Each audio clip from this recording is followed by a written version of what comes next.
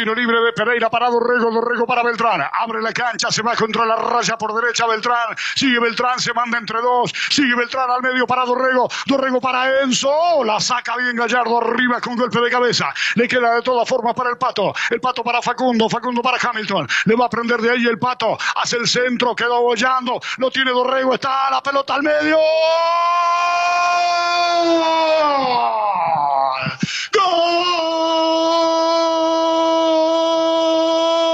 De Cerro Largo, le pegó Dorrego y en contra alguien la empujó allí para abrir el marcador a los seis minutos, para que festeje Cerro Largo, para que el equipo de Danielo, para que el equipo de todos se ponga arriba 1-0. Creo que en definitiva fue el número 15, Martín Marta, el que desvió ese disparo de Dorrego, una muy buena triangulación por izquierda.